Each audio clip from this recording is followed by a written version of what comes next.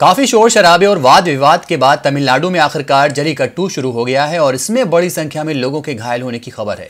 मदुरै के अवनीपुरम में आयोजित जलीकट्टू के दौरान सैंतीस लोग घायल हो गए हैं। इनमें से नौ लोगों को गंभीर हालत में अस्पताल में भर्ती कराया गया है। वहीं बाकियों के प्राथमिक उपचार के बाद घर भेज दिया गया है। वहीं घायलों में से एक की हालत नाजुक बताई जा रही है।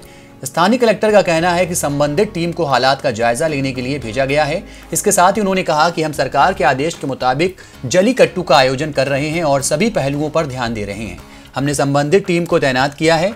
घायलों को अस्पताल में भर्ती कराया गया है। सभी की हालत स्थिर है। आपको बता दें कि राज्य सरकार ने 23 जनवरी को सर्वसम्मति से जलीकट्टू विधेयक पारित किया था। राज्यपाल विद्यासागर राव ने इससे पहले 21 जनवरी को सरकार के अध्यादेश को मंजूरी दी थी। जलीकट्टू का आयोजन राज्य में पोंगल के अवसर पर किया जाता है, लेकिन सुप्रीम कोर्ट द्वारा इस खेल पर प्रतिबंध लगा दिए जाने की वजह से इसका आयोजन पोंगल पर नहीं हो सका।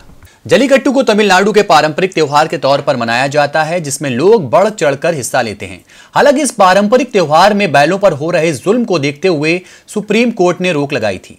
देखते रहिए डीबी लाइव